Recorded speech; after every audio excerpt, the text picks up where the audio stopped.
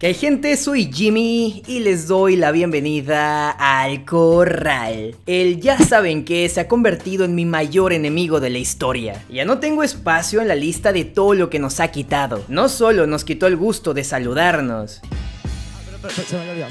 no solo nos quitó el freestyle durante mucho tiempo, sino que ahora nos quitó la legendaria sonrisa de Atenea. Muchas gracias, me da mucha pena tener que estar con la mascarilla porque ya no puede sonreír, de verdad que me cuesta mucho, exactamente. Eh, ya ya no sé quién va a sonreír. Cuando yo esté triste, ¿qué voy a hacer? Igualmente tuvimos rimas que van a hacer que valga la pena el regreso de la liga. Empezando con Teorema, soltando un bifazo a la bebida energética. Y gente que hay cositas que me preguntan. A la Red Bull yo no voy a volver nunca. La Red que se jodan, para mí el freestyle es arte. Y lo están tratando como moda y no me importa. Quería que respondiera eso. Siguiendo con Acertijo, dando la bienvenida a la Liga Maestra. No soy hermano, tengo gerundio. Lo siento, este barco nunca se confundió. Ya vi las otras tres FMS del mundo. Ya jugaron los niños, ahora juegan los adultos. Ah. Y hablando de bienvenidas, este fue el momento del debut oficial de Joker a la FMS Chile. Junto a Ricto es mi favorito de esta temporada y si eres de los veteranos del canal sabrás que le venimos haciendo el aguante desde hace mucho tiempo. Joker hace que cada línea cuente, su nivel de coherencia es gigante y cuenta con un léxico bastante amplio. Ahora, no quiero adelantarme a lo que va a suceder porque el principal reto de Joker es pasar el nivel de las plazas al escenario. Y eso no siempre es posible. Lo que más quiero esta temporada es descubrir si tendremos a ese monstruo sobre el escenario más importante del circuito. Bueno, en realidad a todos mis compañeros. Te explicaron las nuevas reglas del juego. Que si se enfrentan conmigo es 3, 2, 1, 0. ¿Cachaste esa actitud de campeón? Trabajo mi desplante para que sea un punto a favor. ¿Ya? Para transmitir en formato televisión, para llevarme el torneo desde la presentación. Aunque sinceramente no es lo mío, pero el que no es valiente no cruza el río. Sume puntos como loco para buscar un desafío. Pero el hijo del Yeti no siente frío. Oh. Perdido, pero sé encontrarme. Distraído, pero aprendí a concentrarme. Cerrando los ojos para mostrarle al expectante que no es deporte espectáculo, esto es deporte arte. Oh. Vine a cambiar las reglas del juego y no es que me sienta el mejor, pero siento que sí puedo. Que si me lo propongo, nadie va a ponerme freno. Hasta la naturaleza quiso arreglarme el tablero. Aunque ahora hay más cámaras, pero siento el viento afuera de mi lámpara. Muchas gracias a los que confiaron en mí. Tarde años, pero por fin dominé el estado avatar.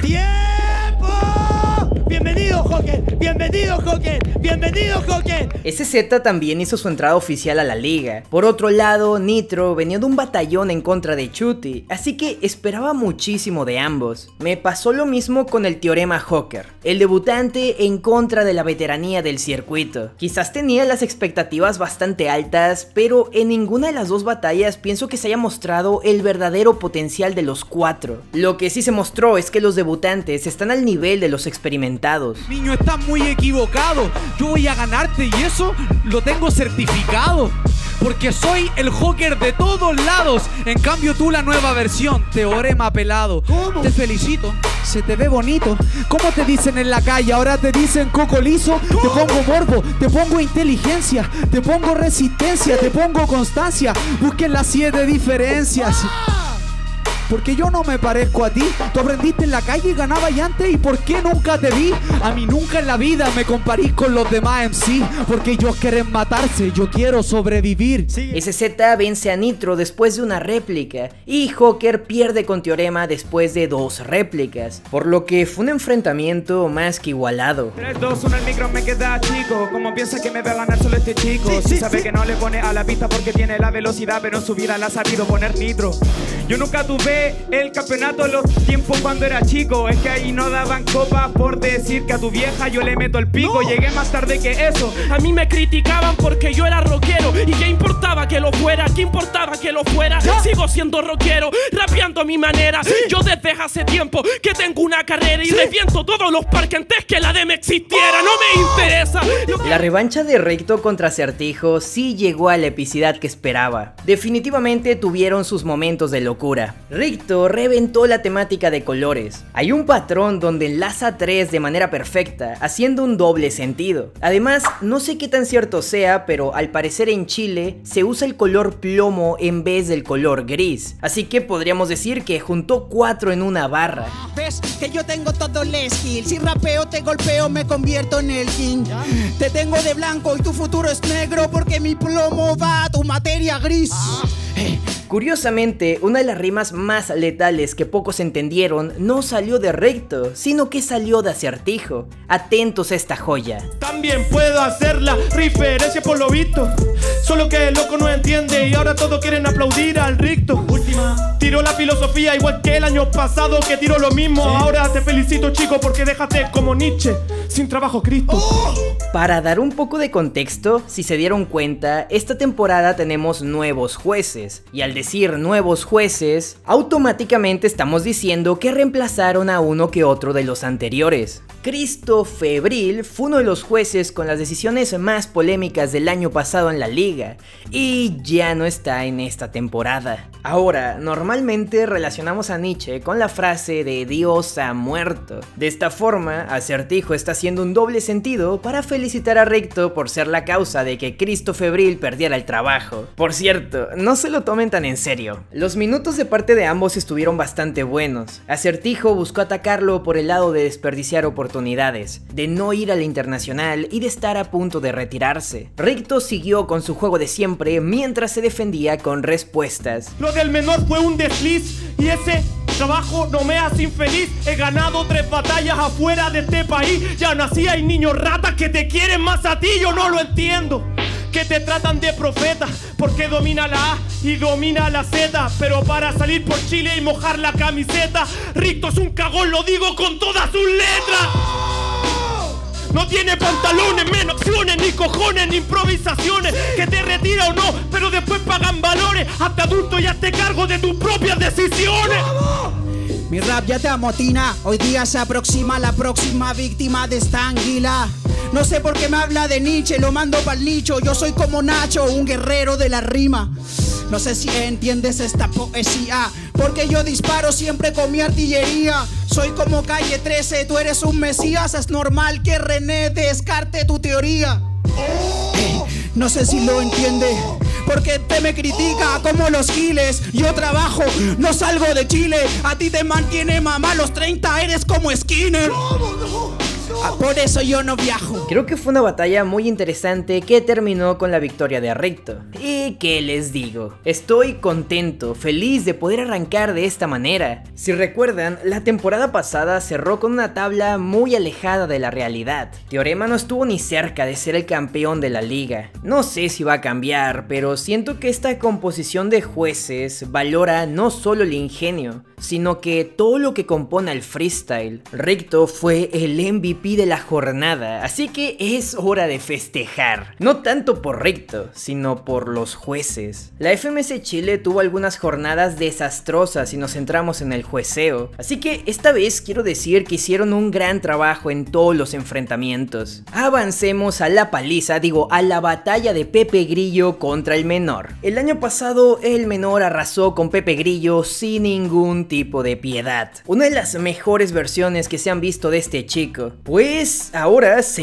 invirtieron los papeles. Pepe arrasó con el menor sin ningún tipo de piedad. Me preocupa este bajón tan drástico de nivel. El lado positivo es que de vez en cuando le salían sus wordplays, por lo que el nivel debe seguir ahí. Simplemente tendrá que ajustarse a las siguientes jornadas. De Pepe Grillo ya lo he dicho cien mil veces y creo que puedo decir literal, es de los mejores del mundo en cuanto a seguir el formato se refiere. No se le va un patrón, no deja nada vacío, siempre tiene algo que decir. Mis respetos para este men. Este dice que yo no estoy apto para entrar al enfrentamiento Siendo que yo si rapeo le pongo y también que rimo con sentimiento En cambio tú no puedes porque solo te quedas en el intento Él dice que es de los mejores de la liga pero siempre se traba en el round de doble tempo Así que, ¿cómo vas vas el mejor si vos siempre te trabas. Ya, ya, ya, ya. Sé que no lo cacháis porque yo tengo el estilo como de Ray. Ay, ay, que no cacháis. Que decir que esto es lo que me tiráis. Yo ni siquiera tengo la escrita. Parece un tema que tú no sacáis porque tú no compones.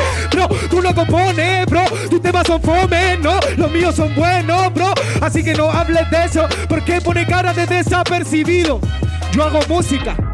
Tú haces ruidos para que entienda que hay una diferencia que no me sirve si vienes a hablarme solo de la calle y de la delincuencia. Esto es rap, es competencia, esto es rap, es competencia. ¿Y de qué te sirve hablar de pistola si no ha tenido una y no sabe sus consecuencias? ¿Hay matado a una persona? ¿O acaso vos sabés lo que es la calle andar con una pistola? Bueno, entonces, ¿qué puedes hacer? Yo he tenido que dar gracias porque eso no ha de suceder. Última. Tú también deberías, pero tú no eres armado. En cambio, yo tengo estilo que suena porque la batería me la ha cambiado. Yo lo siento menor, pero yo sí vengo inyectado. Yo soy el profesor, tú el cabro chico mal educado. ¿Qué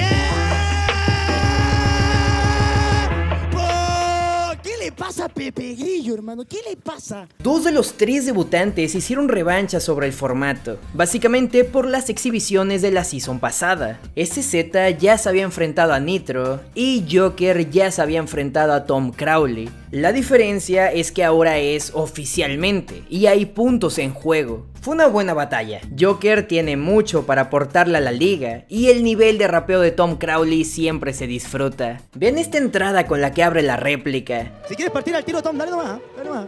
A, a lo maldito, a lo maldito. ¡Sup! Ah, ya.